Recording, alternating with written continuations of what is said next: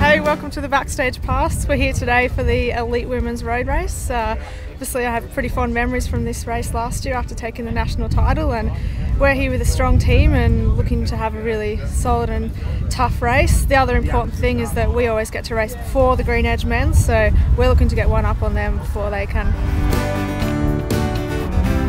Yeah, it's been really fun so far with the Bay Crits and then a couple of the, the national races, the TT and the Crit. So I'm pretty excited. This is the main event, so it's going to be a hard day for everybody, but I reckon we're going to come away happy.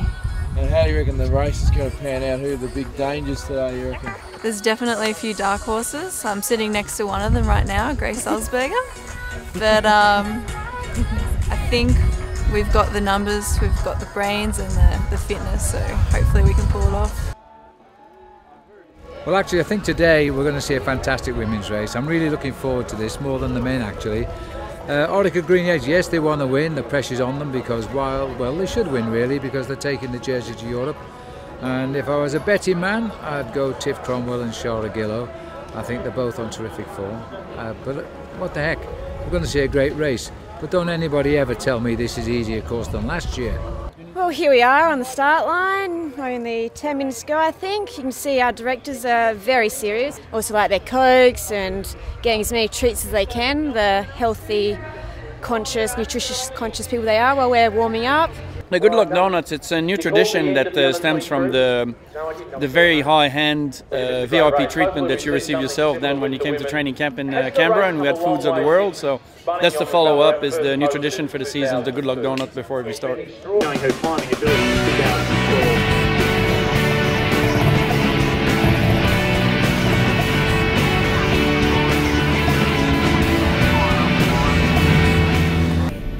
When we turn right, just when I was from the lead to the main bunch is 1 minute 50. 1 minute 50 at the 25.7 kilometre mark.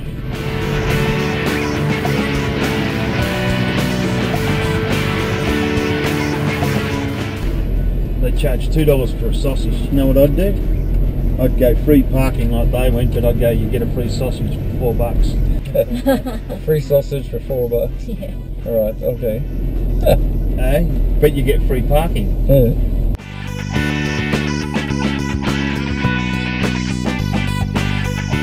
Yeah, good. So just before the downhill, we spoke with Jessie. The break was getting a little bit disorganized. Uh, she's saying her legs are feeling good, her chest is feeling a little bit tight uh, when she goes up the hill. So I told her to continue contributing. She was thinking about sitting on. I told her to continue contributing to the break, uh, just as long as she can guarantee that she's going to keep herself in there. Uh, at 3.30, obviously, this is a good position for us, so just to keep that going for the next little while.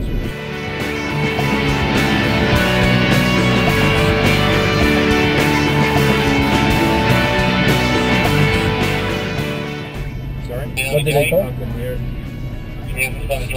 Sulzberger was up the front, Chase. I think Elvin. Elvin's off the front. Trying to get back to the three. Uh, Elvin's off the front.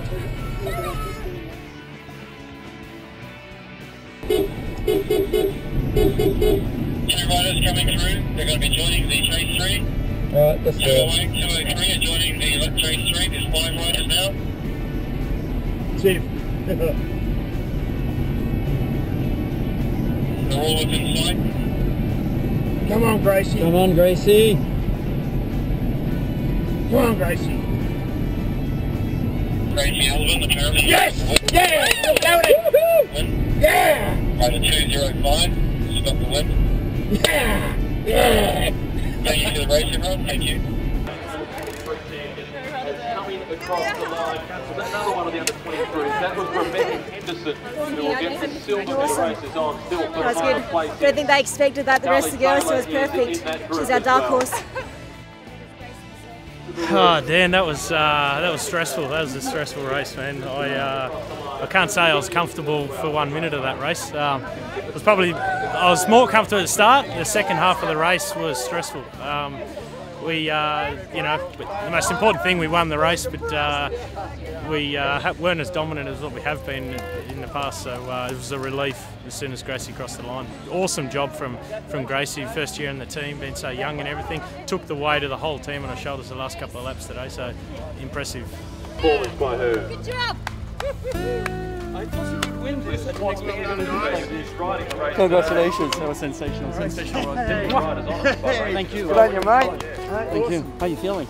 Like a bag of shit. Thank you. Grazie. Good on you, Jess. Well done. Great job. Great job. Uh, I don't know, but I'm wet, man. I'm covered in sweat. So, uh, yeah, fantastic result. We didn't pan out at all the way that we expected. Um I had a thought that Gracie could win this, but it was going to be a long-range attack. Uh, she did it the hard way after doing a lot of work for the team as well too. She was it today, so um, yeah, it was touch and go all the way to the finish. Pretty exciting race actually, as you can tell. But uh, yeah, she pulled it off. What can I say? Fantastic. I'm a little bit excited.